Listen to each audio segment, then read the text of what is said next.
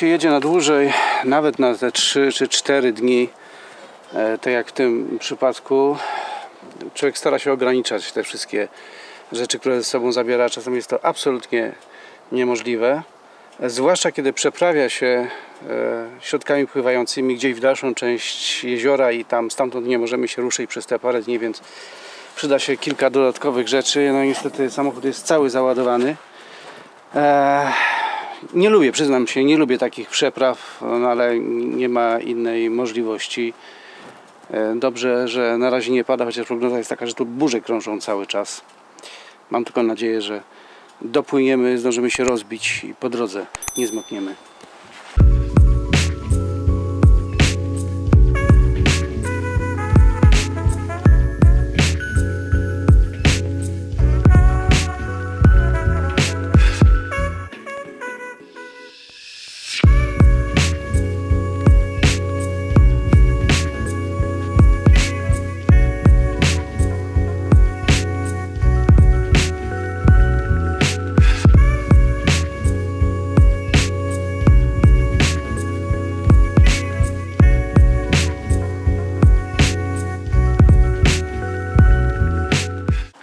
No jesteśmy już w komplecie, zasapani cali, było pontowanie, pompowanie.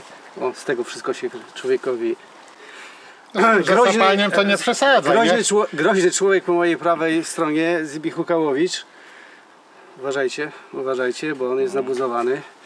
Na karpie. Lepiej nie na podchodzić. karpie, na karpie to widać podbierak. Chyba ma. bardziej tym wieczorkiem zapoznawczym. E, I jeden Kuba i drugi Kuba, że, Kuba Górski, Kuba Ziemianin. Przez e, 4 dni będziemy tam w dziczy, w głuszy e, siedzieć. E, żadne informacje od nas nie będą docierać. No chyba, że uda nam się tego jednego karpia złowić, wtedy cała Polska będzie oczywiście wiedzieć. Dobrze, słuchajcie, szykuje nam się kolejna burza, coś mi się zdaje, więc proponuję szybko płyniemy, trzeba się rozstawić. No i być gotowym właśnie na to i później na łowienie. Nie trzymam Was do roboty. Działamy. Tak jest, do boju. No, wyruszamy. Mamy nadzieję, że zdążymy przed burzą. Całe szczęście, że jest dodatkowy środek do transportu, e, który tutaj umożliwia właśnie przetransportowanie się na drugą część jeziora, bo w samym pontonie nie udałoby się tego wszystkiego zmieścić. E, nas, ekipę filmową. Do zobaczenia na stanowisku.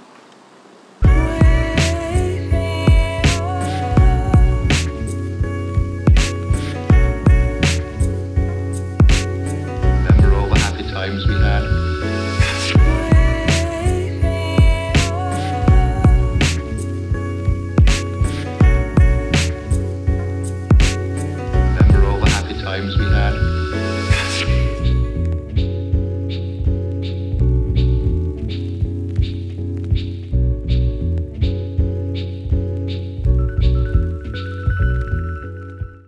Udało się przetransportować przy niewielkim deszczu na szczęście już prawie wszystko rozstawione. Te burze krążą nam bez przerwy, no ale teraz nic już nam nie zrobią. E, trzeba naszykować. E, zazwyczaj najpierw e, zestawy, najpierw badanie dna, wywózka, później wszelkie namioty, tym razem odwrotnie. No jednak ta pogoda zmusza nas do tego. Zobaczymy jak wygląda, przynajmniej znamy tutaj e, kawałek brzegu mniej więcej do dwóch metrów. E, Jest żwir, są kamienie. E, Wiem, że gdzieś dalej również takie lekko muliste miejsca są z, z namułkiem, będziemy, będziemy ich szukać. No ale na razie chyba zrobimy małą przerwę, bo ta burza krąży i chyba jednak nas dopadnie. A prognoza mówi, że jak ta burza przejdzie, to już przez najbliższe trzy dni będzie e, spokojnie, więc przeczekamy i dopiero wtedy wypłyniemy, żeby wysądować dno i pomyśleć, gdzie położyć zestawy, ale naturę tutaj i okolice mamy po prostu niesamowitą. Jesteśmy w absolutnej dziczy, dziczy w środku lasu.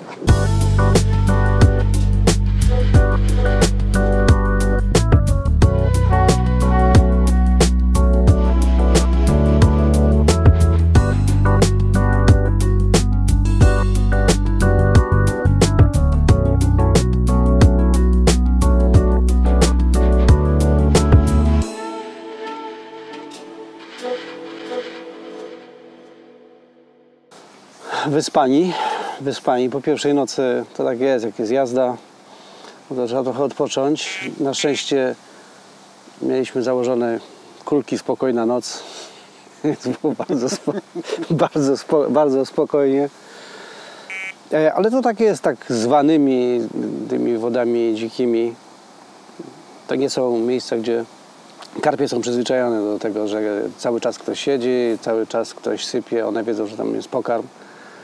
E, Znalezienie ich tutaj, tym bardziej, że ta populacja, no, no powiedzmy sobie, jest taka jak na innych tego typu wodach. Nie jest to nic nadzwyczajnego. Natomiast wydłubywanie właśnie tych karpi, szukanie e, na tego typu, w tego typu łowiskach, gdzie diabli wiedzą, gdzie one tam chodzą, jakie one mają ścieżki, czy one są raczej na płytkiej, na głębszej, gdzie mają żerowiska. Zresztą myśmy przecież przed laty zaczynali łowić tylko i wyłącznie na takich wodach. Tak i mniej więcej można się spodziewać, gdzie ten karp tutaj jest, gdzie, gdzie, gdzie można go złapać. Natomiast trzeba wziąć pod uwagę, że mamy połowę lipca i ciśnienie wędruje do góry w tej chwili na 2020. Ale y, ja już pomijam ten aspekt, żeśmy dzisiaj w nocy nic nie złapali. No, ciężko wypracować na dzikiej wodzie w ciągu trzech dni No, ale pamiętasz, ile, ile myśmy mieli takich, takich zasiadek, gdzie się siedziało tydzień, żeby mieć branie. Oj, E, Na Tak. tych wodach to się szczerze mówiąc niewiele zmieniło, tak szczerze mówiąc. E, Więc te te cztery dni, które tutaj są, to jest takie minimum, żeby cokolwiek. Oczywiście mówimy o ciśnieniu, o wiatrze, lubimy zrzucać e, na karby tego, że coś z pogodą jest. Oczywiście to może mieć wpływ na to, zdecydowanie na, na branie ryby. E, No ale jednak ja myślę, że wiesz, to jest tak kwestia lokalizacji jednak. Gdzie, z którego miejsca one będą chciały pobierać pokarm, to chyba jest najważniejsze. Wczoraj mówiliśmy, że to jest, tak, to jest żwirowo-kamieniste dno, ale pokryte namułkiem, natomiast jak pływaliśmy później sądując, to okazało się, że tam jest potężny muł w niektórych, w niektórych tak, miejscach. Są miejsca, gdzie jest twardo, są miejsca, miejsca gdzie jest bardzo miękko. Y, Ale już pomijam ten aspekt. y, Wiadomo, y, na dzikiej wodzie, gdzie się wcześniej nigdy nie łowiło, to jest troszeczkę szczęścia trzeba y, mieć, żeby jeszcze tego karpia złapać w pierwszą, drugą noc. Natomiast ja chętnie wracam na dzikie wody już nie dla ryby, ale dla tego spokoju, Dla atmosfery, dla tu jest, otoczenia, no. gdzie jest pięknie, gdzie nie ma tej presji wędkarskiej. Mhm. I podzielam zdanie dużo młodych osób, które mają niesamowitą satysfakcję, jak złapie na takiej wodzie przełowionej, tego karpia sobie wypracuje. Ja ich rozumiem i Tak, bo, chętnie wracam na taką bo, wodę. bo sytuacja y, tutaj podejrzewam i większość tego typu wód wygląda tak, że tu jest wędkarzy jakaś tam ilość, którzy łowią, ale to nie są karpiarze, to są ludzie, którzy łowią z gruntu, łowią na spławik, oni mają styczność z tym karpiem. Często, bardzo często, czy zazwyczaj przegrywają z tym karpiem, bo nie są przygotowani na to. E, Na to, natomiast taka typowo karpiowa zasiadka, tutaj wiem, że jest parę czy paręnaście osób, ale ich jak gdyby nie było widać normalnie. To nie jest jakieś tam oblężenie tej, tej wody. Mnie jedna rzecz e, ciekawiła, ponieważ z doświadczenia wiem, że tak jak mamy po drugiej stronie te trzcinowiska, e, karpie uwielbiają właśnie chodzić wzdłuż, wzdłuż trzcin w tych e, miejscach. Postawiłem e, całą noc stało, chociaż zazwyczaj w tego typu wodach ja brania miałem przy, na płytkiej wodzie przy trzcinach w dzień. Tak, i, ale nie zapominajmy również, że mamy połowę lipca. No, My nie wiemy, kiedy tak. ten karp tutaj się wycierał. No tak.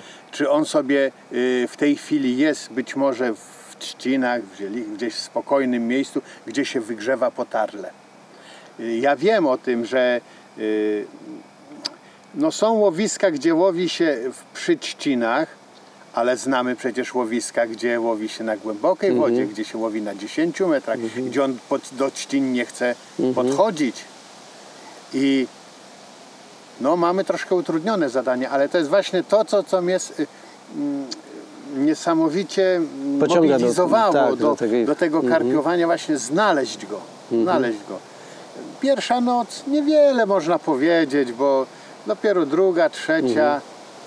Będziemy mogli mówić, mm, czy nasza taktyka jest skuteczna, czy nie. No zobaczymy, będziemy szukać tej ryby, będziemy sądować dno dalej, a teraz chyba uciekamy. Widziałeś co tam się dzieje? No i jeszcze jedno, widzisz? y, Czarne niebo całkowicie. No i o, a jeszcze parę minut. Natomiast trzeba powiedzieć, że tu troszeczkę trzeba z taktyką. Ja staram się obrać taktykę już w pierwszy dzień. Mam tu na myśli, co zakładać na włos. Jeżeli chodzi o mnie, widzisz, mam y, założone na łapię tylko i wyłącznie na orzechy. Nie mam problemów z leszczami.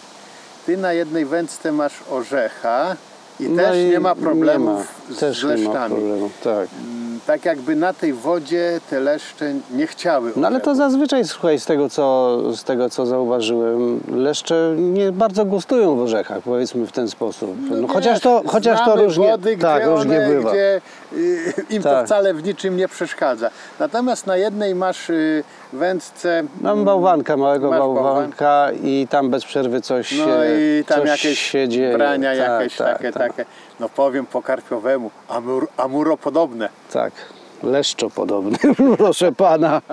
Dobrze, e, Tak, słuchaj, no. chyba się zwijamy, chyba się zwijamy, dlatego że tutaj zaraz pompa będzie i to, i to naprawdę, na, czarno. naprawdę niezła. Dobra.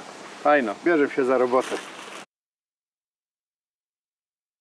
No i musimy przeczekać tę deszczową pogodę, po co moknąć. Całe szczęście, że e, mamy pomieszczenie gospodarcze, kuchnię, zwał, zwał jak zwał. E, dzisiaj praktycznie no, każdy coś takiego ze sobą zabiera na ryby. Teraz może wspomnimy jak to było przed laty.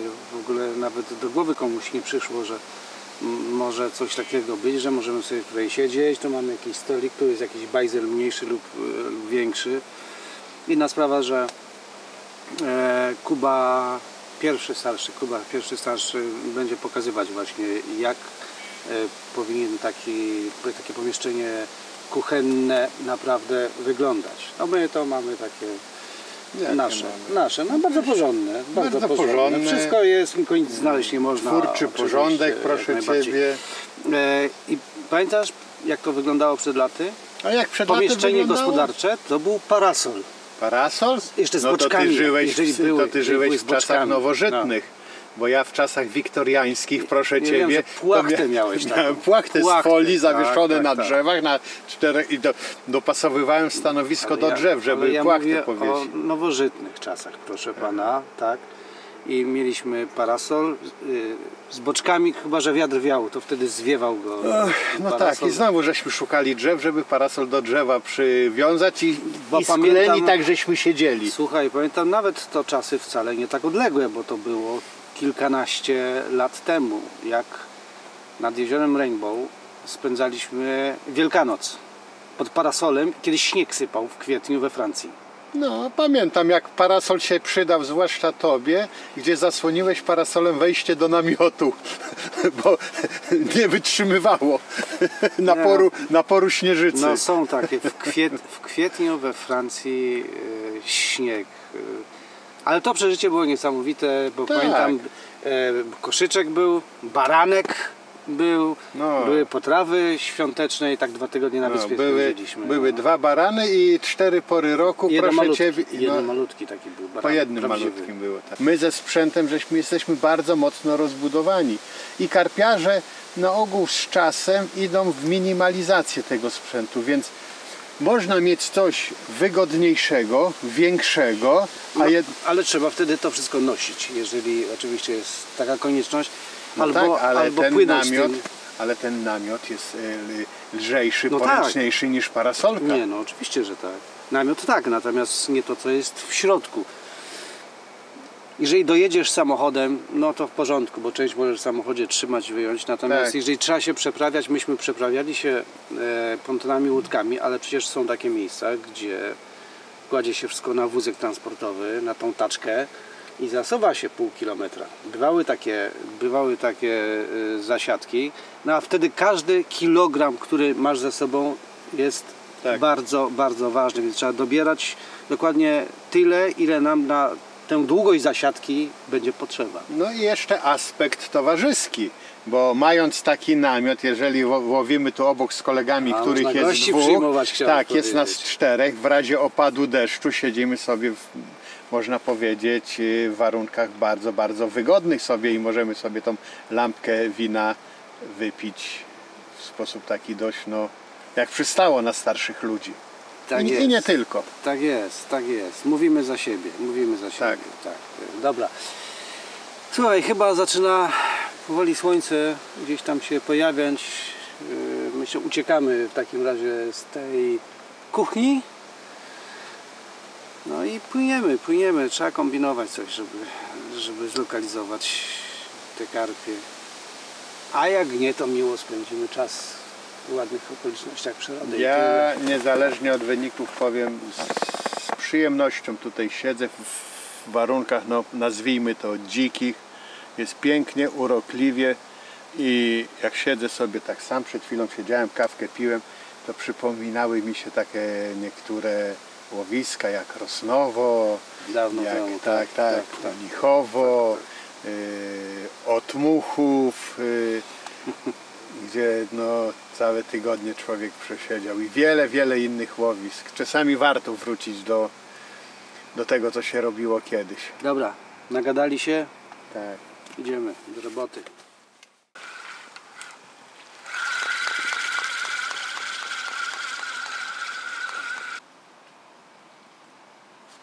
Wyciągnąłem jeden zestaw, który położyłem na 3,5 metra e, i kulki przybrały zapach e, dna taki nieprzyjemny. Będę musiał to przestawić, bo to wydaje mi się, że to nie to miejsce. Z tego miejsca chyba brań nie będzie. No zobaczymy e, na ekosądzie jak to będzie dalej wyglądać. Na gdzieś 4,5 na 5 prawie metrach jest e, sporo e, zruszonego dna, ale myślę, że to, to jest sprawa leszczy. To nie są, to nie są karpie. Teraz zobaczymy tu bliżej brzegu. Tu miałem postawiony zestaw, gdzie jest marker. O, tu jest 3, 3,8 mniej więcej. Stok taki idący do brzegu, coraz mocniej dmucha.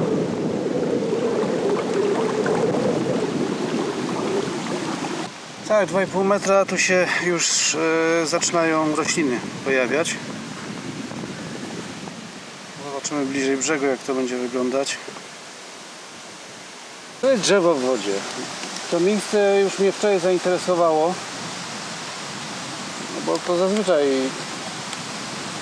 ostoja karpia, nawet jeżeli jedno drzewo wystarczy, żeby było w wodzie, to one się tam będą pojawiać.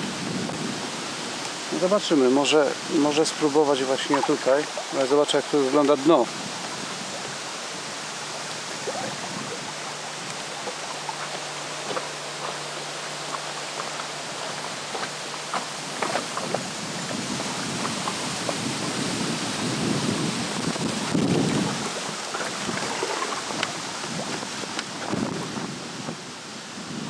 No widać, że dno jest bardzo urozmaicone. E, Są dołki, są rośliny. No i teraz pod sam koniec to trzeba się przesiąść na wiosła, bo e, silnikiem nie da się utrzymać przy tym wietrze pontonu. Wiosłami jest dużo e, lepiej. No i poszukać kawałka czystego dnia bez e, roślin. Zobaczymy jak to będzie wyglądać. To jest 2,5 metra prawie ale dno jest całe porośnięte. Chociaż są przerwy, są takie przerwy pomiędzy tymi roślinami. No zobaczymy. Parę razy przepłynę naokoło, może coś znajdziemy.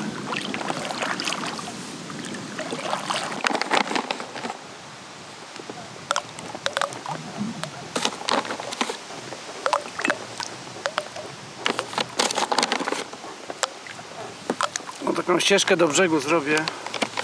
Że one wzdłuż brzegu się poruszają.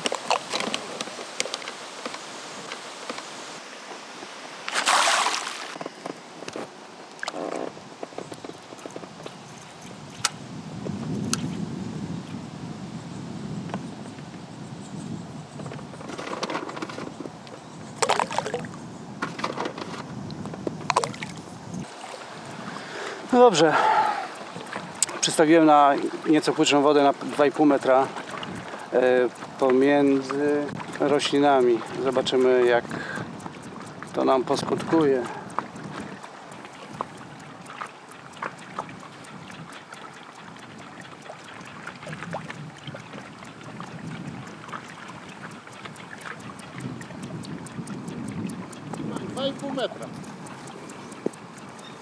No ja też postawiłem na 2,5 metra.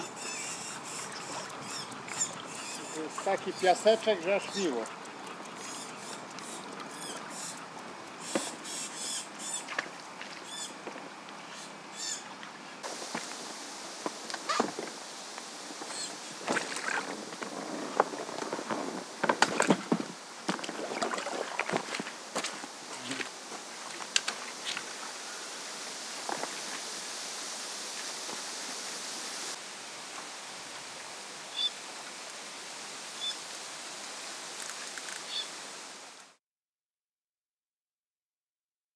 Jesteśmy po nocy.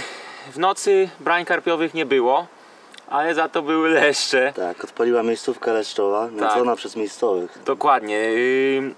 Po prawej stronie naszego łowiska mamy taką górkę, na której z, z pewnego źródła otrzymaliśmy informację, że tam miejscowi sypią i tam łowią. No, często przychodzą z filerami i tam sobie rzucają, bo jest spad, jest dosyć blisko brzegu. Dokładnie. Jest y, praktycznie całe dno jest w sumie takie samo. Wszędzie jest tak zwana, kolokwialnie mówiąc, pustynia, natomiast tam rzeczywiście jest pośrodku wody taka górka. No i postawiliśmy tam zestaw. Natomiast no, brania leszczy nas trochę przerosły, bo, bo, bo zaczęło się od jednego, popłynęliśmy postawić zestaw. W czasie stawiania wziął już kolejny. No i tak ki- kilka razy, Tak, także, tak, także po którymś już braniu Piękne złote leszcze. no jeszcze naprawdę duże i okazałe, natomiast no już po którymś braniu postanowiliśmy jednak coś zmienić, no bo, bo na dłuższą metę to, to by było raz, że męczące, a dwa myślę, że przy takiej, takiej populacji tych leszczy te karpie by po prostu tam Nie weszły. nie weszły. Także postawiliśmy nie na, na blacie, tylko na zejściu z blatu na dole. Yy, No niestety do rana No dłuższy włos też zdałeś, nie? Tak, tak, dłuższy, dłuższy włos. i- Zmieniłem też przynętę, bo wcześniej było na pop-upa, Tak. a potem, potem zmieniliśmy na bałwanka yy, z kulek. No i, No, i brania ucichły leszczowe. brania nie? Po leszczowe 23 ucichły. chyba tak gdzieś mniej więcej. Tak, mniej więcej coś takiego, także no karpiowych też nie było, ale to jest dopiero pierwsza noc, no Pierwsza wydaje mi noc, się, także nie, Kuba, że to Nie ma nawet jeszcze 24 godzin, więc zestawów generalnie tych karpiowych nie zmienialiśmy, one tam sobie jeszcze leżą. Zobaczymy. miejmy nadzieję, że jakaś taka wisienka na torcie, oprócz tego klimatu, który tutaj panuje, to jeszcze w postaci karpia będzie. Może kuby wypalą i coś złowią. Tak, może, żeby nie było lipy. Tak.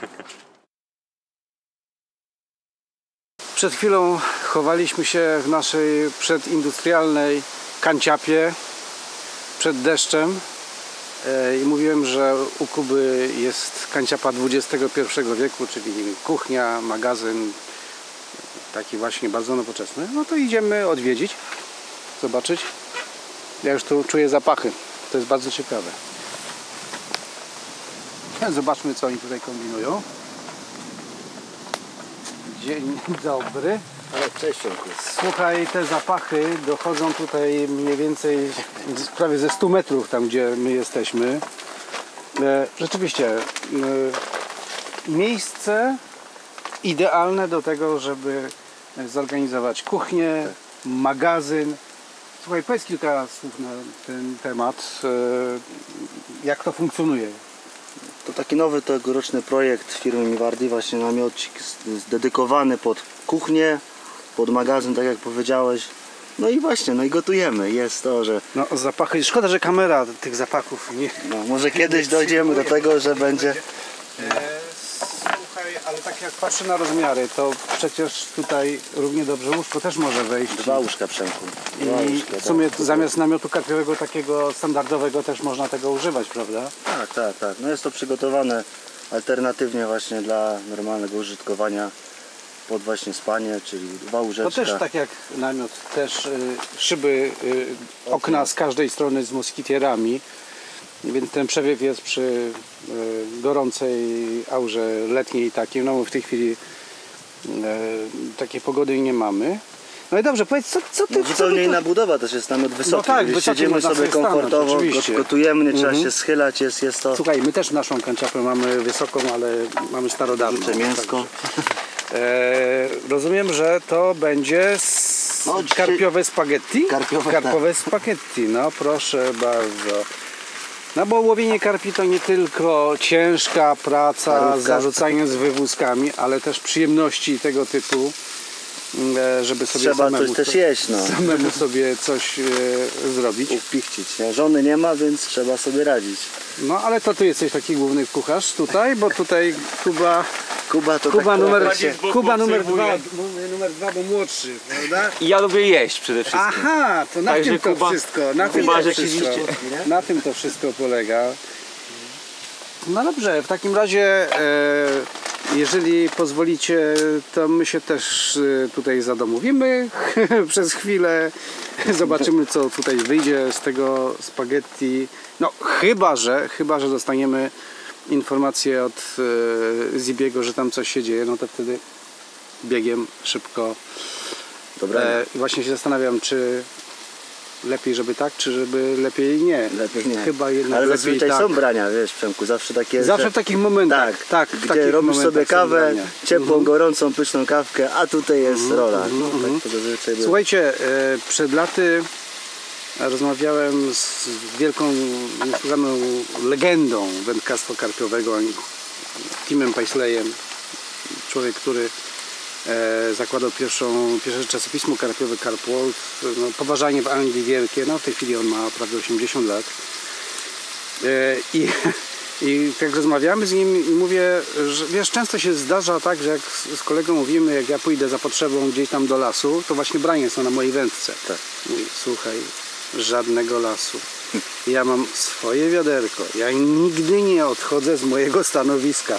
Zawsze używam wiaderka, bo jak się pójdzie, to właśnie To są brania. to są brania. Ale coś w tym, To coś tak w jest, Tym, no. Coś w tym jest. No proszę bardzo. Jaki wysoki poziom z łyżką do spaghetti. No, takie spaghetti wędkarskie. Wędkarskie spaghetti. ale- Mm. Czy jutro też będzie obiad? Będzie. O, Co ma nie być? Trudno. I czasami w momencie, kiedy jest przerwa w braniach albo w ogóle nie biorą, to jest jedna z najpiękniejszych rzeczy nad wodą. Takie jedzonko. Tak. Przyznać. Dzisiaj sporo się mówi o ekologii, o ochronie środowiska. Oczywiście dotyczy to również wędkarzy.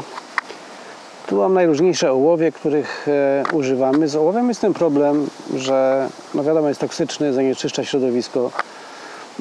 W paru krajach europejskich używanie ołowiu do wędkarstwa już jest zabronione. Jakieś alternatywne rozwiązania muszą być stosowane. Ja Myślę, że do nas też to dotrze i też będziemy musieli e, zrezygnować z tych typowych ołowiu. Jaka alternatywa? Alternatywa jak najbardziej ekologiczna, oczywiście nie we wszystkich przypadkach, bo mm, e, tym alternatywnym ciężarkiem nie da nam się rzucić e, daleko. Natomiast e, to, co my dzisiaj tutaj robimy, to co podczas tej zasiadki, czyli wywózka, jak najbardziej jest to możliwe. Więc odkładam ciężarki klasyczne, biorę e, sobie coś, do czego będę zbierać nie grzyby, bo jeszcze ich, jeszcze ich nie ma, ale alternatywne ciężarki. Daleko nie muszę iść wcale.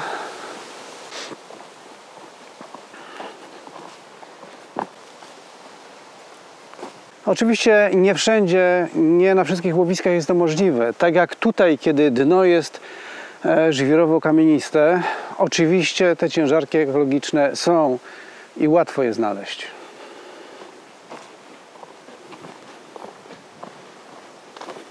I tutaj na brzegu mamy cały magazyn ekologicznych ciężarków. To są one, po prostu kamienie. Kamienie, które można stosować jako ciężarki do wywózki e, Tutaj ich jest cała masa. Mogę wybrać sobie kilka czy kilkanaście, które posłużą mi e, do końca tej zasiadki. Oczywiście e, to nie może być pierwszy lepszy kamień. Trzeba dobrać odpowiednią wielkość, czyli ciężar inaczej i odpowiedni kształt. To mniej więcej półkilogramowy albo i więcej ciężarek, jak najbardziej. Tu mam drugi, wybieram takie nieco podłużne, później powiem dlaczego. Tu jest okrągły, to się nie bardzo nadaje, ten też nie. O, ten ciężarek ewentualnie, hm, ciężarek, tak, ciężarek kamień jak najbardziej. Tutaj nieco mniejszy, lżejszy też się może przydać. Ten jest zbyt okrągły, nie będzie się trzymać. No, mamy kolejny podłużny, też lżejszy. No i jeszcze jakiś jeden znajdę i myślę, że w zupełności ten ewentualnie może być w zupełności raz, dwa, trzy, cztery, pięć, sześć. Na razie to wystarczy. W każdej chwili będę mógł tutaj przyjść. To jest dosłownie 30 metrów od naszego stanowiska i wybrać sobie kolejne ciężarki. Ja się cieszę, że coraz więcej karpiarzy używa właśnie takich naturalnych e, obciążeń, jeżeli jest to możliwe, bo one nie zaśmiecają łowiska. Taka woda jak tutaj właśnie o kamienistym dnie, jeżeli będzie jeden ciężarek kamienny więcej, absolutnie nikomu i środowisku nie zaszkodzi. E, Co jest potrzebne oczywiście oprócz tego y, kamienia? Potrzebne będą gumy. E, To może być guma z dętki rowerowej, przy czym y, dętka rowerowa jest słabo rozciągalna i mogą być pewne kłopoty, że ta dętka może z kamienia nie spać, bo przecież o to chodzi, żeby kamień był w tej obejmie, która powoduje to, że przy braniu karpia ten kamień wypada. E, Takie silikonowe gumy wydają mi się absolutnie najlepsze. Zwykły zestaw, używam tego zwykłego zestawu. To jest zwykły, bezpieczny zestaw, na który założyłem dwie gumy silikonowe. Oczywiście może być jedna nieco szersza, ale wydaje mi się, że bezpiecznie jest, kiedy są takie dwie gumy. No i teraz wystarczy założyć w odpowiedni sposób ten ciężarek. Mówię odpowiedni sposób, bo to jest dość ważne, bo ten ciężarek powinien spaść w momencie brania karpia. Więc y, należy to tak ułożyć, żeby być pewnym, że jeżeli karp zostanie zacięty, bo ciężarek układamy na dnie, zestaw leży i w momencie pobrania tej przynęty ciężarek powinien nam się uwolnić. Karp się zacina, czuje opór i proszę, ciężarek zostaje na dnie, a my holujemy karpia bez żadnego obciążenia i to nam niezwykle pomaga w jego późniejszym wyholowaniu. W tego typu łowiskach, wszędzie gdzie przy brzegu są głazy, kamienie, gdzie są korzenie drzew, bo tego tutaj też jest sporo, jest jeden problem przy używaniu e, pontonu. Jest bardzo łatwo ponton przetrzeć. Zresztą e, w poprzednim naszym filmie właśnie miałem taki kłopot, że musiałem w czasie łowienia dopompowywać go, bo gdzieś tam mikro jakieś dziurki się porobiły właśnie poprzez używanie go na takim brzegu, wyciąganie pontonu. Jest na to pewien sposób bardzo prosty, ale który no, prawie całkowicie zabezpiecza ponton przed e, tymi niebezpieczeństwami, które grożą mu przy samym e, brzegu. To jest po prostu zwykła płachta, którą przypinamy do brzegu. Ja przypiąłem ją szpilkami, żeby ona nie wypływała. I pod spodem tutaj mam różne rzeczy. Tu proszę bardzo, jest kołek. Tutaj jest kawałek drzewa, które tutaj kiedyś rosło, poza tym kamienie. Więc gdybym wyciągnął ponton w ten sposób, miałbym bardzo duże prawdopodobieństwo przebicia go. A w ten sposób, jeżeli położymy tą płachtę, unikamy tego, tylko pamiętajmy, żeby ten ponton był właśnie nasunięty na nią i wtedy pozbywamy się tego typu kłopotów i nie mamy stresów, że cokolwiek z pontonem nam się stanie. Przyjechaliśmy tutaj na karpie, ale oczywiście to nie jest typowe jezioro karpiowe. Chcielibyśmy co nieco dowiedzieć na temat tej wody, a kto e, może udzielić odpowiedzi, jak nie prezes stowarzyszenia, które opiekuje się e, tym jeziorem. Słuchaj, w największym skrócie 23 hektary prawie. Tak. Od kiedy stowarzyszenie y, tym jeziorem się opiekuje? Bo wiem, od tego momentu tutaj co nieco się zmieniło. Yy, niezależne Towarzystwo Wędkarskie w Białymborze. Jest nas 32 zapaleńców yy, kochających wędki, wodę, przyrodę. No i tworzymy to miejsce tak z roku na rok. Tutaj no, dla ludzi, którzy chcą tutaj po prostu do nas przyjeżdżać i wędkować. Yy, Woda ogólnie dostępna. Wędkować może każdy, który posiada kartę wędkarską i uiści opłatę Myślę, że niewygórowane opłaty na tutaj rzecz naszego stowarzyszenia. Woda nietypowo karpiowa, chociaż coraz więcej karpiarzy. Mamy piękną populację karpia. Pierwsze zalebienia karpiem w 2014 roku, w tym roku przejęliśmy właśnie to, to Ale jezioro. Wcześniej karpie tutaj były. Tak, Powiedzmy sobie, że były i jeszcze tutaj te stare karpie pewnie pływają. tak. Na razie rekord jeziora e, to karp 20 kg 90, że tak powiem, 2900, o tak, fachowo. E, 2800, 19 połowione, 15, osobiście też takiego tutaj 15 100 największego. E, Ale oprócz karpi, e, jestem święcie przekonany, że są karpie, nie ma ich zbyt wiele, ale są karpie w granicach 25 kg na bank. Jestem tego na 100% pewien. Natomiast od 14 roku zarybiamy sukcesywnie e, na rybkiem sandacza. E, Pierwsze zarybienia to był taki sandacz nawet w granicach 25-30, a nawet 35 cm. Dzisiaj są już okazy w granicach 75 e, i większe. Nie ma ich to, dużo. Przepraszam, że wejdę Ci słowo, ale to właśnie samo jezioro, podłoże, tak żwirowo-kamieniste, to jest taka typowo właśnie sandaczowa woda, a sandacz z karpiem doskonale razem egzystują. We wszystkich wodach, gdzie te dwa gatunki są, obydwa mają i dobre przyrosty i, i, i dobrze się chowają. Tak, od 15 roku nie zarybiamy, bo jeden rok zarybialiśmy trochę, mm, mieliśmy tam e, zapisaną pewną tam ilość e, na rybku szczupaka.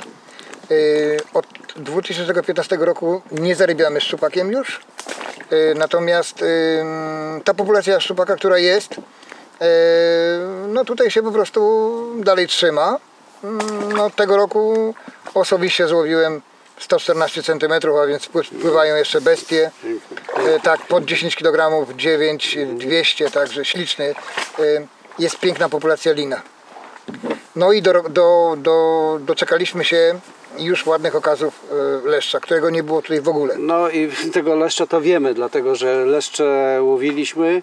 Kuba pierwszy i Kuba drugi.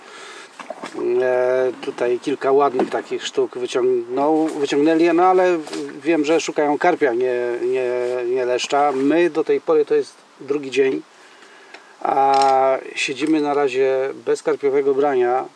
E, oczywiście zawsze karpia zrzuca winę na coś, ale zdajemy sobie sprawę, że to nie jest po pierwsze takie proste na tego typu wodzie, a dwa, no niestety y, bardzo często tak bywa, że jeżeli jedzie się robić filmy, to nagle wszystko nam się wali, pogoda przede wszystkim, ciśnienie w górę niesłychanie wysokie, no i one po prostu nie chcą współpracować. Myślę, że gdybyśmy tak z tydzień posiedzieli, to w końcu y, co nieco by się zmieniło i te rezultaty by były y, zupełnie inne. Ale nie o tym chciałem mówić, bo to akurat, to akurat na marginesie zupełnie. O populacji karpia mniej więcej wiemy, ale też mówiłeś, że zaczynają przyjeżdżać karpiarze, którzy tylko i wyłącznie nastawiają się na karpie i te wyniki mają Tak. całkiem, całkiem przyzwoite już. Yy, powiem tak, że mm, właśnie coraz więcej yy, osób, które typowo karpie. Typowo karpie, bo mm, sami tutaj goszczę, nieraz pomagam, czy koledzy pomagają, mm, że tak powiem, no, te najlepsze stanowiska, gdzie mogliby rozbić obóz, e, pytają nas tutaj.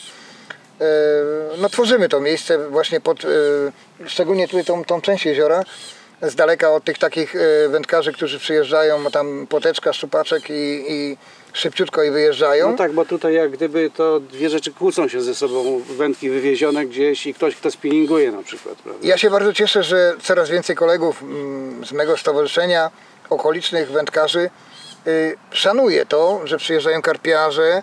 Ja im też przez wiele tam razy próbowałem tłumaczyć, że bo, bo, bo ja taką definicję tutaj próbowałem wprowadzić, myślę skutecznie.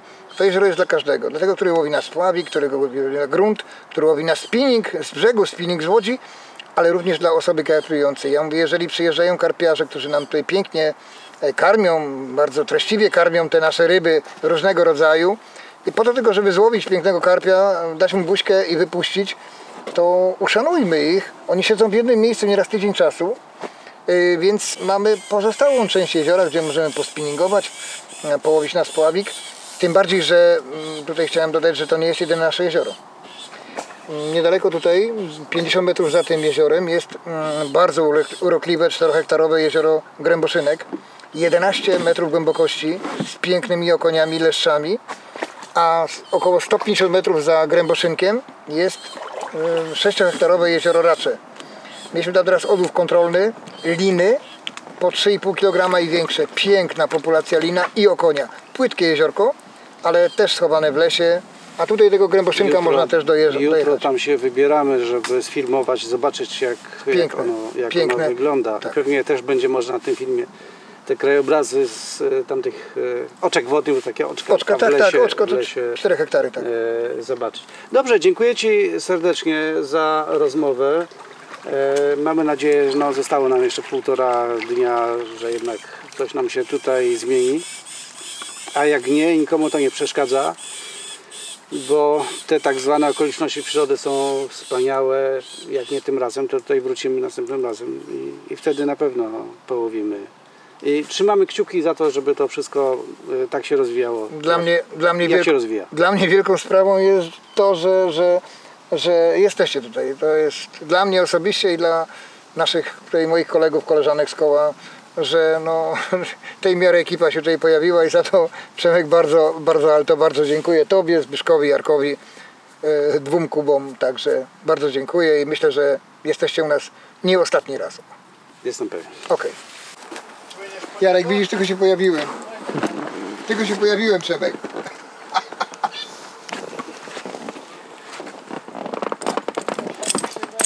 Podbierak Jarek, ty dajcie mi podbierak.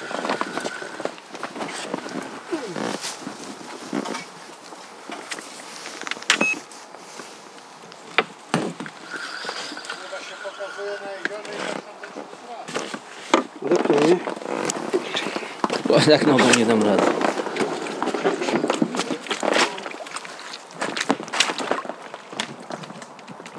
Ty, a my tam wędkę w lesie postawili, bo centralka nie Przemek, uważaj, bo masz na tym już. Wiem, wiem. Tu mi się zaciął ten. Zaciął mi się. Siedzi?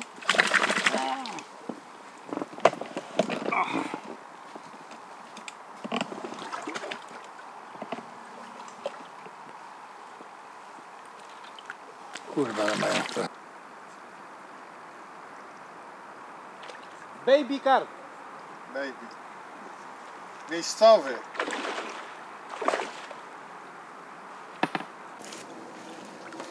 Uważaj wędka.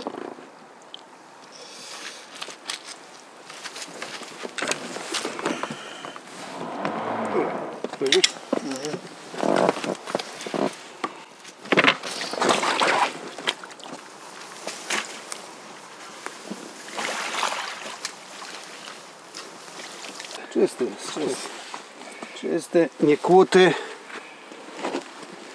Pierwszy raz zapoznał się z haczykiem.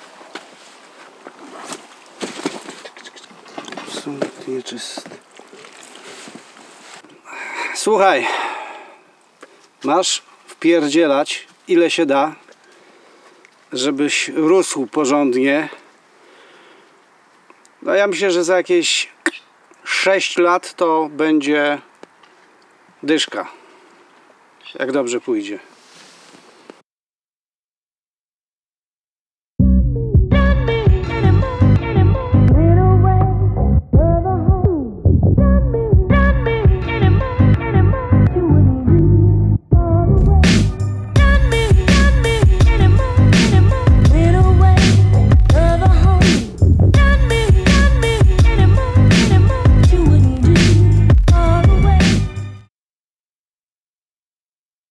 Jesteśmy po drugiej e, nocy.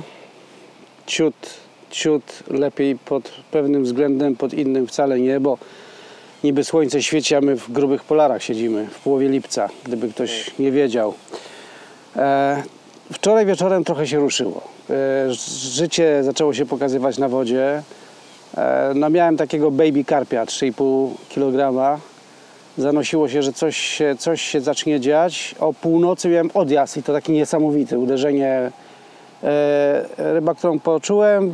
Wsiadłem na ponton, na luzie popłynąłem. Spięła się w jakiś sposób. Nie mam zielonego pojęcia o co chodzi. Chyba będę musiał ze- zestaw zmienić na wszelki wypadek.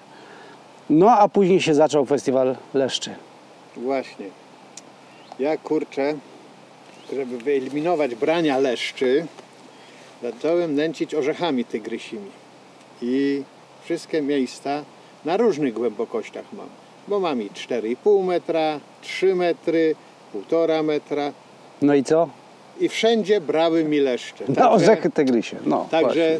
selektywna przynęta Nie nie, zdała- sprawdziła nie zdała się na egzaminu. wodzie, na której nigdy nie było łapane na orzech. No widzisz, ja z kolei, ja z kolei przestałem e, nęcić ziarnem, bo sypałem tam ziarno. E, w nocy po tym braniu popłynąłem, żeby postawić zestaw. Całe dno e, gdzieś na głębokości 3,5 metra, tam gdzie miałem zestaw, było zmącone. Widać na echosondzie było doskonale. Ale to leszcze, to, naj, to na 90% to leszcze e, narobiły tego rejwachu na dnie. No, sporo było wrzuconych tych ziaren. Więc dałem sobie spokój ziarnami i właściwie same kulki, tak, dwa, dwie, trzy garście kulek naokoło. Ja nie ukrywam, troszeczkę ta noc mnie zawiodła, bo woda 22 stopnie ma. Ryba, jezioro zaczęło żyć wczoraj, było to widać. A złapałeś jednego małego karpia, a tutaj przy tak ciepłej wodzie One leszcze powinny- nam spać nie dało. No to powinno być no coś właśnie. odwrotnego. No właśnie, ale widzisz, cały czas człowiek poznaje coś nowego. Nowa woda, która rządzi się swoimi prawami. E, tego leszcza, z tego co wiemy tutaj nigdy nie, znaczy nie, kiedyś był ten leszcz, ale, ale e, e, wyginął z różnych względów. Nastąpiła reintrodukcja tego leszcza i on się w tej chwili doskonale tutaj miewa. Widać, że znalazł świetne miejsce do bytowania.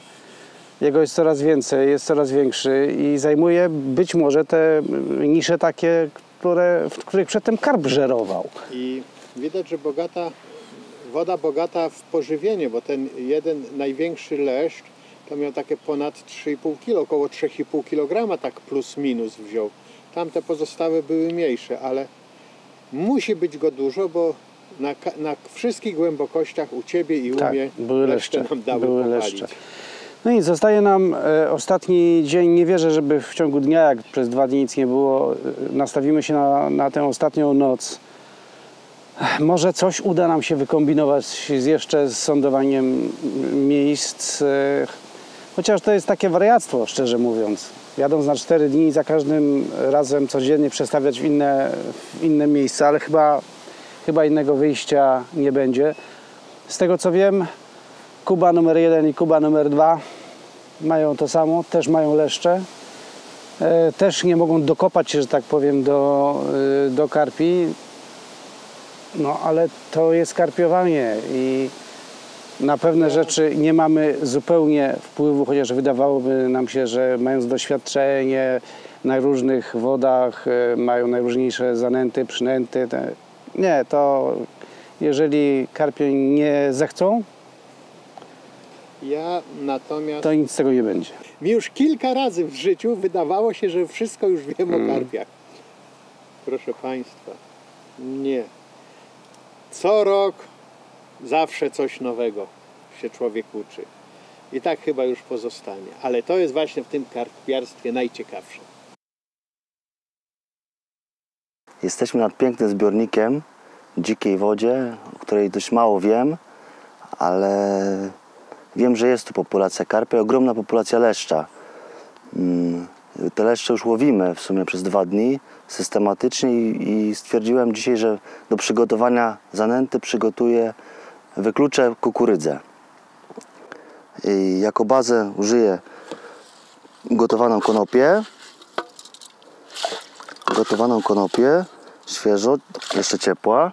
Bazę uzupełnię mieszanką zanęty sypkiej, która będzie smużyła w wodzie i mam nadzieję, że zwabi upragnionego, kar- upragnionego karpia.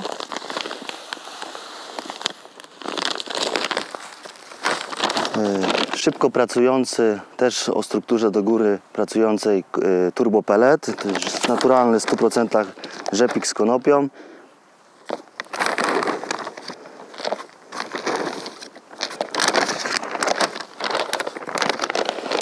Pelet halibutowy, tłuściejszy, który też pozostawi smugę smakową w wodzie.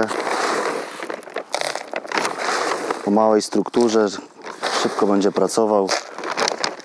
I troszkę, również dwie garście e, słodkiej kukurydzy. Też delikatny mały pelecik.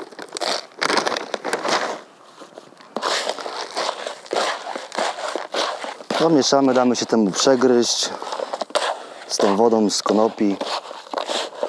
Pozostawimy na chwilę i będziemy wywozić. Jak każdy kucharz sprawdza swoje, swoje danie przed wydawką, tak i my sprawdźmy, e, co wymieszaliśmy i czy rzeczywiście smuży w tej wodzie.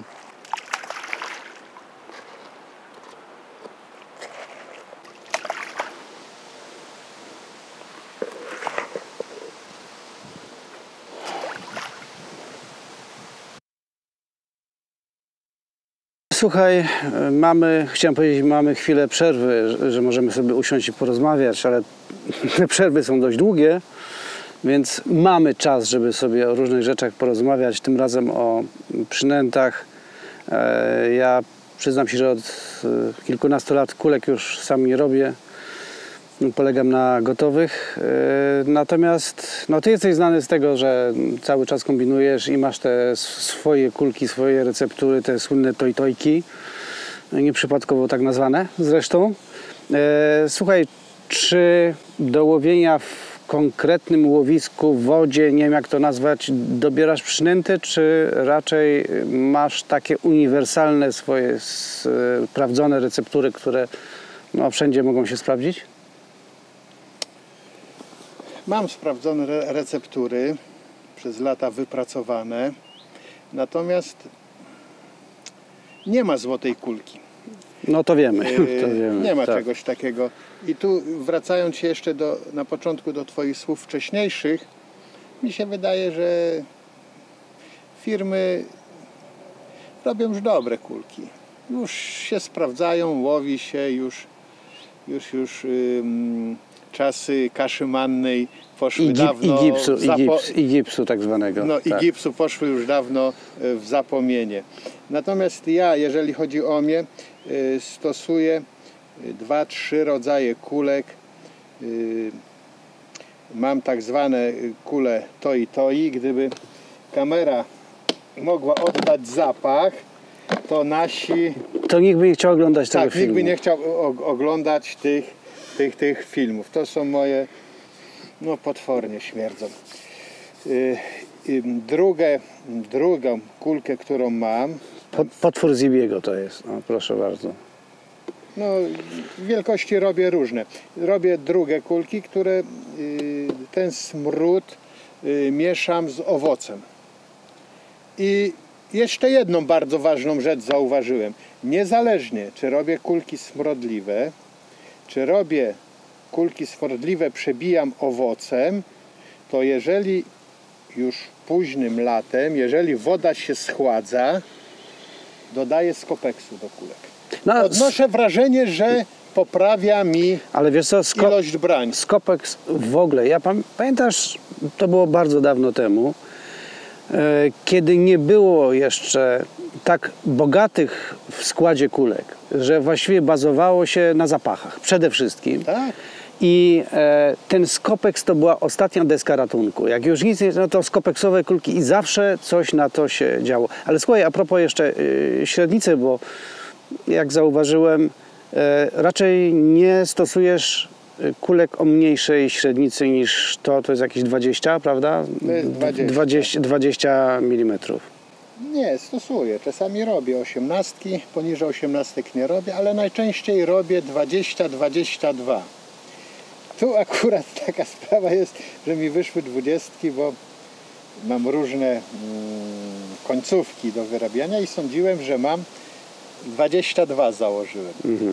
A poza tym jeszcze jedna rzecz. Niektóre mi przy parowaniu puchną i zostają, więc y, przez wyciskarkę daję troszeczkę mniejszą średnicę, One A- puchną, one a puchną, one tak. puchną i pozostają. Y, Bardzo lubię, bardzo lubię. 22-24 kule. Ale Chociaż powiem, Mhm. chociaż powiem, pamiętam yy, mm, na południu Polski łowiłem i mówię, o jeszcze myślałem, że jak dam dużo, dwie duże, dwie 24, to przestaną mnie gnębić małe karpie. Więc wywiozłem wędkę, dwie kulki 24, mówię, no teraz to już tam niżej dychy to już nie będzie żadne. No długo nie czekałem, niecała godzina branie, no i wziął całe 6 kilo na dwie 24, także nie ma... No tak, ale wiesz, no przecież mieliśmy przykłady takie, że na, no może nie na dwie, ale na taką kulę łowiłem płoć 20 centymetrową. Płoć, karasie, liny. które były pięknie zapięte, a sama kulka by mu się w pyszczku nie zmieściła. E, Słuchaj, jeszcze a propos parowania, robiłeś też swego czasu, nie może dalej robisz, kulki e, niegotowane, nieparowane, a suszone tylko i wyłącznie, Tak, które się rozpuszczały. Y, Bardzo chętnie używam je. Już mam znowu jeszcze inną recepturę. To Możemy gdzieś tu zajrzeć? tak, tak, tak. Gdzieś To, to, to do tego błota? y, To tutaj gdzieś. A, tajne przez to jest kulka. To jest kulka ani niegotowana, ani nieparowana. Y, Jest, mam satysfakcję, że ta kulka y, w temperaturze wody 22 stopnie y, przetrzymuje mi około 14-16 godzin. Nawet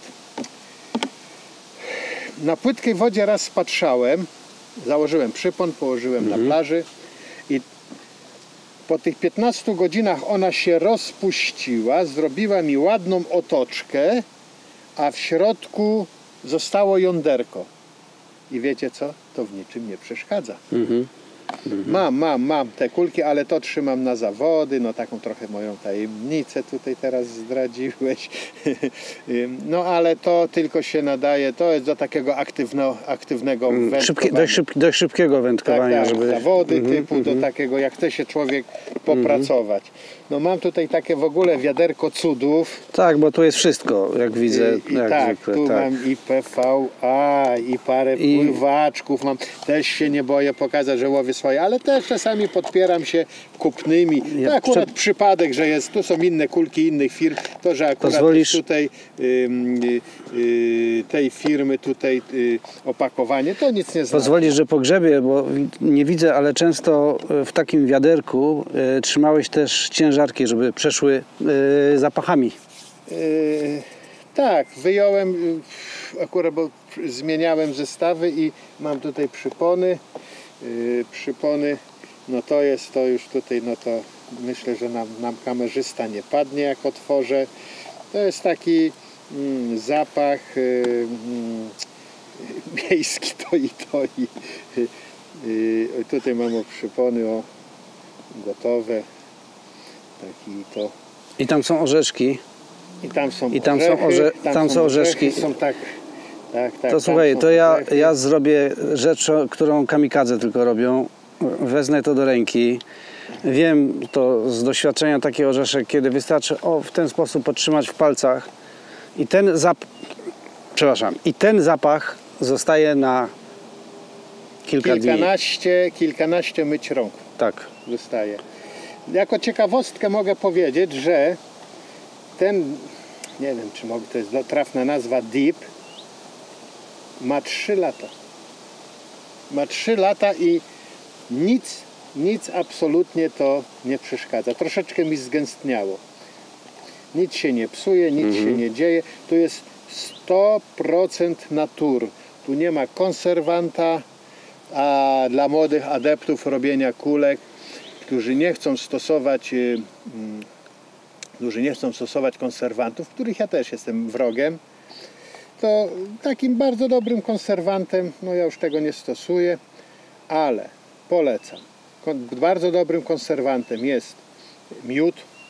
Przecież mamy słoiki w domu i nikt nigdy nie zobaczył pleśni na Mhm. Tak. wieczku na tym. Tak. Drugim takim konserwantem to jest sól. Nie bójmy się dodawać soli.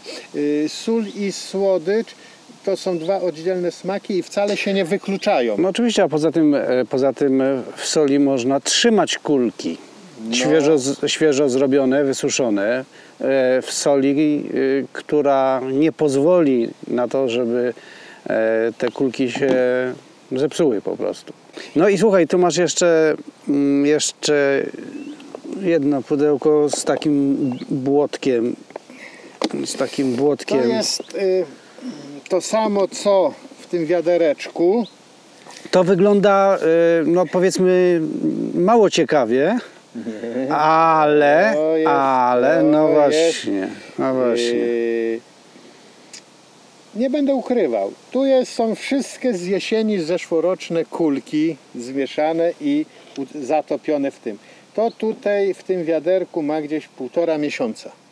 To jest przeszło. Ja tu mam PVA, które pokruszę. Y, W niczym to nie przeszkadza. A tu robię taką zalewę. To jest takie podnute tej, w tym wiaderku pod, pod te orzechy. No i tutaj na I ostatnim tu jeszcze wiaderku- zostało ostatnie wiaderko, to zamkniemy, tak, i tu jeszcze Uwaga, jest, uwaga, Tutaj mam orzechy.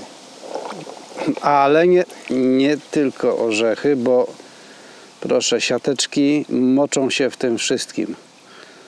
I myślę, że to jest rzecz, której nie zobaczy się na co dzień tak przygotowanych siateczek PVA i proszę bardzo, w tym błotku one się nie rozpuszczają. Nie rozpuszczają się. Jako ciekawostkę, Ale to są do nęcenia orzechy już. to są do nęcenia i do łapania. I do łowienia również. No. Jako ciekawostkę powiem, że na sezon bieżący orzechy zaczynam preparować na jesieni, późną jesienią, na początku zimy. Także moje orzechy zanim w, y, y, trafią do wody mają około 4-6 miesięcy. I nie wiem dlaczego niektóre łowiska się boją orzechów. Być może świadomy wędkarz nie rzuci surowego orzecha, niedogotowanego. One są kruchutkie, eleganckie, no. Mm, y, one są czyściutkie, można je jeść. Natomiast ich zapach No nie, nie, zdecydowanie, dziękuję. y, Zdecydowanie, Dziękuję. zdecydowanie odstrasza y, od tego typu prób. Tu jest też 100% natury, bez żadnych konserwantów, dodatków, bez chemii, bez niczego. Dobra, Zbyszek, słuchaj, jeszcze jedna rzecz. Jakbyś mógł jeszcze pokazać swój taki typowy zestaw, na który tutaj łowisz. Staram się używać jak najprostsze zestawy, bez żadnych udziwnień. No tylko z, z dociążeniem lekkim. Tak, lekkie dociążeniem, żeby pętelki nie było. Na to zwracam uwagę. I masz miękką plecionkę tutaj. I tu mam miękką plecionkę. Yy, nie sztywno. Tu są kamienie tam i w tym jednym miejscu i chciałem, żeby była mięciutka. I, jeszcze jedna I rzecz. to, ten, ten Właśnie. przypon zdjąłem. I to jest, I tu jest rzecz najciekawsza w tym wszystkim, bo to jest jeden orzeszek tygrysi, ale proszę zobaczyć to.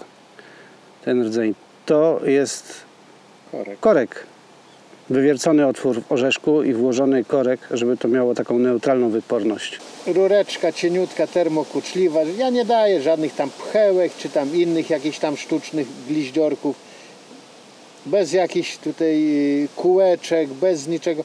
Powiem uczciwie, kilka razy przez udziwnienia straciłem ładną rybę. I przestałem. Przestałem. Ten przypon został zdjęty, został założony z dłuższym włosem i dzisiaj wszystkie zestawy mam na dwie kulki. Zakładam. Może troszeczkę, chociaż w minimalnym stopniu ograniczy branie leszcza.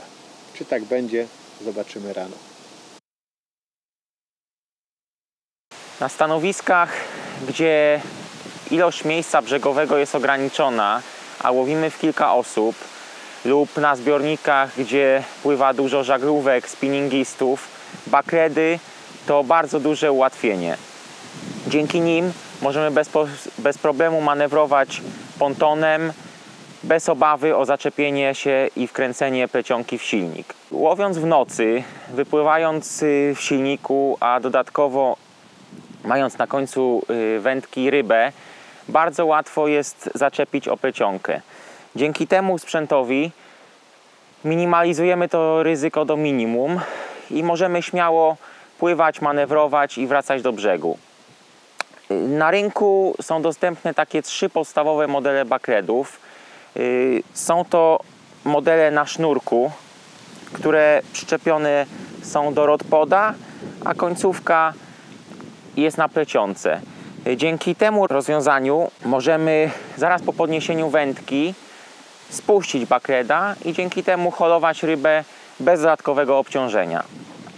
Kolejnym elementem są takie najbardziej popularne i standardowe bakredy zaczepiane po prostu na plecionkę i zsuwane w jakiejś tam odległości od brzegu. Jest to rozwiązanie dobre, bo możemy ją zatopić trochę dalej od brzegu i jeżeli mamy stromy spad lub jakieś y, górki lub do, dołki po drodze, no to wtedy ta plecionka dalej jest zatopiona. Tak samo możemy spuścić kilka takich backredów na odległości y, łowienia i w każdym miejscu będzie plecionka do, y, dociążona do dna. Największym problemem tych backredów standardowych jest to, że podczas holu czy podczas ściągania zestawu dyndają one na plecionce i utrudniają hol. Jeżeli po drodze będą jakiekolwiek zaczepy, yy, drzewa, roślinność, to one będą o to zaczepiały i naprawdę w znaczącym stopniu mogą nam utrudnić lub czasem uniemożliwić nawet hol ryby. Tutaj jest bucket standardowy, a tutaj wykonany przeze mnie. Bardzo prosta metoda, po prostu oliwka i do tego taka agrawka również działa. Trzecim rozwiązaniem są bakredy przelotowe, zaczepiane yy, na lince głównej zaraz za zestawem. Dzięki nim dociążony mamy końcowy odcinek zestawu zaraz za ledkorem. Podczas rzutu one odsuwają się od, od zestawu, od ledkora i dociążają ostatnie kilkadziesiąt metrów, no w zależności od odległości, na której łowimy. Jest to rozwiązanie bardzo dobre, natomiast również podczas holu, no w szczególności w trudnych warunkach, może to nam trochę utrudniać życie. No, jesteśmy przed ostatnią nocą, ostatni wieczór. Tak sobie właśnie rozmawialiśmy. E, powiedziałeś rzecz, która może jest taka zaskakująca, ale jak się to przemyśli, to jest niezwykle trafne spostrzeżenie, że to, co my robimy tutaj, to jest takie przypadkowe karpiowanie w pewien sposób. No tak, bo wody nie znamy, usiedliśmy i tak sam przed chwilą powiedziałeś że gdyby dzisiaj zaczynać z tą wiedzą, którą tu mamy od po tych dwu, dwu i pół dniową, to byśmy to zrobili nieco inaczej. No to to zawsze tak jest. Tam jest taka olbrzymia zatoka i przed jakieś 15 minut wcześniej powiedziałem, że gdybym miał dzisiaj usiąść, siadłbym tam. Jeszcze nie skończyłem, a ty powiedziałeś, też bym Tak. tam usiadł. Tak. Zresztą No, to jest jedyne miejsce, gdzie słyszeliśmy spławy i to, i to takie mocne, naprawdę mocne spławy nocne. Eee, Oczywiście jest jedna sprawa, że mogli, mogliśmy być mobilni, że tak powiem. Natomiast e, e, no, nie było to możliwe. Przygotowaliśmy się do takiej stacjonarnej zasiadki raczej, a nie do mobilnej. E, A poza tym na coś takiego było za mało czasu. Zdecydowanie za mało czasu. Gdybyśmy mieli tydzień, to myślę, że Nie no, Wczoraj gdybyśmy- byśmy się zwijali mieli i dziś, szukali nowego miejsca. tydzień, to byśmy już wczoraj pewnie Już tam- tam, tam byli, byli, ale mhm. jest jeszcze jedna trudność, jest nas tutaj cztery osoby i No, osiem wętek, a tam miejsce jest na, można powiedzieć, na półtora osoby, więc yy, na potrzeby filmu siedliśmy w miejscu, gdzie możemy być mniej więcej razem, obok No i, siebie. I żeby mieć przestrzeń. Bo też, no. gdyby łowić No, tam, gdzie zamierzamy, to by trzeba było na drugą stronę Mhm. zatoki płynąć, ale tam jest tylko jedno miejsce i, Zgadza się. I osiem wętek, Zgadza się. y, no raczej tam nie widzę, tak żeby to była ta możliwość. Ale wędkarsko, Wędkarsko. karpiowo, Prywatnie, gdyby się zupełnie prywatnie, prywatnie jechało. Tak. dwie osoby, jedna, dwie osoby, na pewno usiadł bym sobie tam. I to jest właśnie takie specyficzne, ale fajne bardzo w tego typu tak zwanych dzikich wodach. Ja nie lubię tej, tej, tego określenia dzika woda, no, no nieważne. E, e, ale w wodach ogólnodostępnych, gdzie nie ma wyznaczonych stanowisk. Właśnie to, że można się przemieszczać i e, szukać tego karpia, wyszukiwać miejsca, gdzie on w danym momencie powinien być i reagować błyskawicznie, nie, że rozbić wielki obóz, masy i później się zebrać tego wszystkiego. Nie można do kupy, bo tyle tego wszystkiego mamy, ale być mobilnym, mniej sprzętu jeżeli tylko zauważymy, że ryby mogą być tam, tam albo tam, no to pakujemy wszystko, płyniemy No. i próbujemy w innym miejscu. to co ja powiedziałem jakieś paręnaście, dzie- czy 10 minut temu robimy w tej chwili przypadkowe karpiowanie. Według wiatru to powinniśmy usiąść. Tam, bo w tamtą Tam z stronę przodu. wieje. Tak. No tak, ale tam nas uprzedzono, że są tro, trollingowcy i tudzież No, spinningiści, inni spinningiści no i tam nie tudzież- dałoby się raczej I nie łowić. dałoby się, ale karp, wędkarstwo, karpiowanie to na pewno tam. A przez Drugie miejsce, wiał tam. Tak. I, a drugie miejsce tam. Dlaczego tam? Ja tam pływałem trochę dzisiaj i bardzo jest pofalowane dno. Są miejsca twarde, żwirowe, ale są miejsca takie 2,5 metra, 3 metry, yy, 2,20 I tam mocno zamulone i i niesamowicie dużo roślin. No. Ja znalazłem tam miejsce wczoraj w jednym miejscu, wśród właśnie takiego miękkiego, grząskiego, metr mułu. To zasypałem bardzo, bardzo, bardzo dużo konopi. Ziarna tr trochę mniej, to, y, ale ziarna mam tu na myśli orzecha. Y, Ja kukurydzy nie sypałem. Dzisiaj mam w miejscu nęcenia, nęcenia półmetrową dziurę. No, No, czyli I już mam twardo, Wykopałem. już mam twardo, ale no co, co się dziwmy, jak całą noc leszcze nas, nam No mistrem tego miejsca również dokuczały. No ale to też jest właśnie takie spostrzeżenie z tej zasiadki. Myślę, że e, e, wszyscy, którzy z tego typu sytuacji wyciągną wnioski, e, będą wiedzieć, żeby jednak próbować rozglądać się, co się dzieje naokoło, nie tylko w tym miejscu, gdzie jesteśmy, i upierać się w tym jednym miejscu, ale szukać innych rozwiązań, bo to czasami jest Wypracować jedyny go, sposób. jedyny wypracować sposób go. Gdybyśmy tu nad tym jeziorem byli już piąty, dziesiąty raz, to człowiek niemal by na ślepo wiedział łapać. Ale jeżeli my to jesteśmy pierwszy raz, bez jakiejkolwiek wiedzy z zewnątrz, bo tutaj panowie, którzy łopią, to łowią inne ryby, karpia łowi się przypadkowo i mu, musieliśmy wszystkiego dochodzić. Ale już po dwóch dniach wiemy dużo. Mhm. I ja to nazywam aktywnym łapaniem.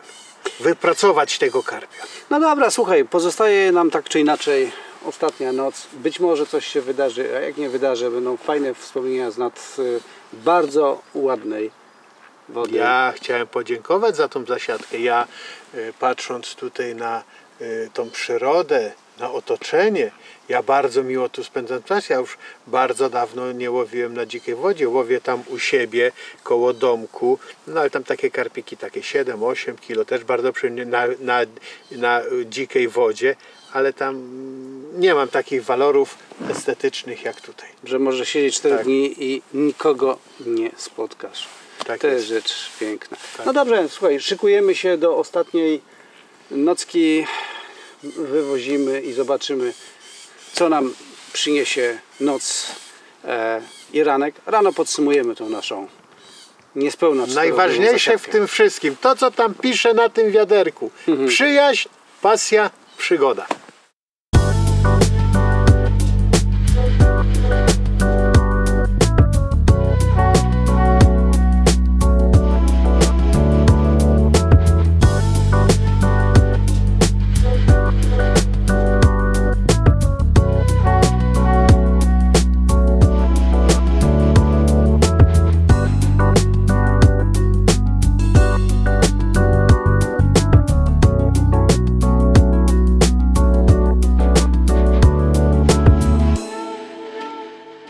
Słuchajcie, jest po wszystkim. Chciałem Wam serdecznie podziękować za wspólną zasiadkę.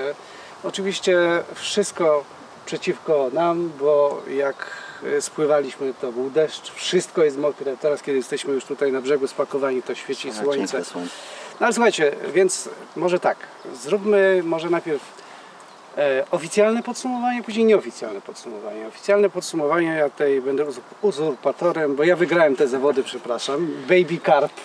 Chylinie czoła. Więc pozwolę sobie zająć pierwsze miejsce. Słuchajcie, tutaj tak, Brawo! dziękuję.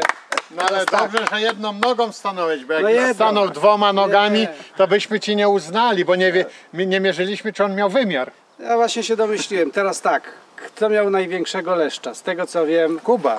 To Nie, egzekwo tak mi Chyba się wydaje. egze, Egzekwo, to po egzekwo. starszości Zibi drugie miejsce tutaj będzie. Gdzie jest drugie miejsce? Tu jest drugie lewo. miejsce. Proszę Ja pierdzielę. Ale też jedną nogą. Nie, usiądziesz. Możesz usiąść. A, Możesz usiąść. Ja też sobie pozwolę zaraz usiąść. Trzecie miejsce w takim razie. E, Kuba numer wychodzi. dwa, czyli młodszy Kuba. Proszę, siadaj tu. O jest. I niestety ktoś musi być na szarym końcu, ale słuchaj, e, nagroda pocieszenia jest dla Ciebie. Uścisk prezesa. A jak nie tam uścisk, to jest jeszcze, wiesz, słuchaj, bo taka tradycja jest na Gręboszu, że tutaj kto zwycięża, to otrzymuje tost. Jest sałatka z tuńczyka w sosie pomidorowym. Gratuluję serdecznie. Proszę e, skonsumować to po powrocie i myślami zawsze być na Gręboszu. Siadaj, słuchaj, tu. Bo teraz zawsze ten smak się będzie kojarzył z Tak. Z słuchajcie, słuchajcie, takie krótkie podsumowanie. Było bardzo fajnie. Tak jak od samego początku mówiliśmy, no nie często jest okazja, żeby w takiej ciszy, głuszy siedzieć w bezludziu. E, natomiast no, jezioro Grębosz nas pokonało, to trzeba przyznać. tak. Z pokorą to przyjmujemy, oczywiście, bo wiemy na czym polegają zasiadki właśnie no, takimi dzikimi wodami. No słuchajcie, dwa zdania po kolei. Kuba. Jest to no tak, mimo wszystko jest to no tak, jest, jest naprawdę pięknie i warto tu przyjeżdżać. Chociażby dla tych pięknych złotych leszczy. O tak. Zibi. Populacja karpi tu bez wątpienia jest bardzo duża, a to, że trafiliśmy na takie bezrybie ogólne takie, bo tutaj kolega siedzi też na karpiach, tam też siedzieli i nikt nic nie miał. No ty z racji stanowiska jednego złapałeś, żebyś tak dla zachęty. Natomiast na pewno ja tu wrócę, bo tu jest parę spławek, żeśmy widzieli w drugim końcu jeziora, takich ładnych. No parę, no trzy chyba, czy cztery spławki, takie ładne, mocne, potężne.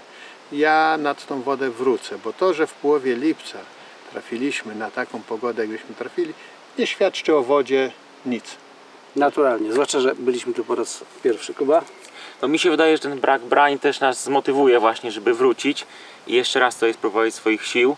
No przede wszystkim klimat, naprawdę tutaj jest klimat na brzegu, jest niesamowity i chyba wszyscy mogą się zgodzić, że odpoczęliśmy bardzo mocno i, i, i no i po prostu tak psychicznie to, to, to, to, to jest bardzo fajnie. Natomiast co do ryb, no to na pewno tu pływa dużo ryb i, i, i starych mieszkańców pewnie. Natomiast no niestety to, to, to ma to do siebie, że wakacyjne takie zasiadki to jest jest- trochę roteria. To jest po pierwsze, a poza tym trzeba mieć czas, żeby do nich się dobrać. E, To była kolejna e, niepoznana, czy też słabo znana dzika woda, nad którą byliśmy. E, Będziemy podążać właśnie szlakiem takich zapomnianych wśród leśnych jeziorek, w których być może niektórych pływają karpie, bo takie informacje są i myślę, że kolejnych parę filmów nad takimi wodami powstanie. A na razie dzięki. Jedziemy do domu i będziemy jezioro Grębosz wspominać. Całkiem Miło dobrze. było. Tak jest.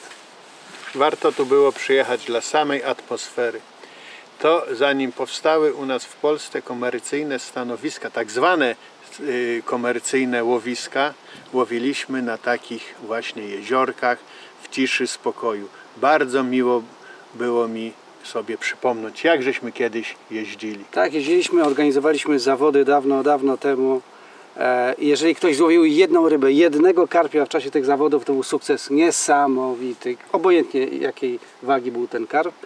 A e, w roku 97, o ile dobrze pamiętam, tutaj całkiem niedaleko, na jeziorze też mieliśmy imprezę i e, nasz przyjaciel Leszek Zawadzki, pamiętasz, był jedynym, który złowił rybę. Ten karp miał 17 kg, to była tak nieprawdopodobna sensacja. Mamy zdjęcie wszystkich uczestników z tym karpiem, no bo to była nieprawdopodobna ryba jak na owe czasy. Dzisiaj to nieco spowszedniało. Dobra, słuchajcie, dziękujemy, wracamy do domu i myślę, że wkrótce wybieramy się na kolejną Do Tak następnego. Dziękujemy bardzo. Dziękujemy.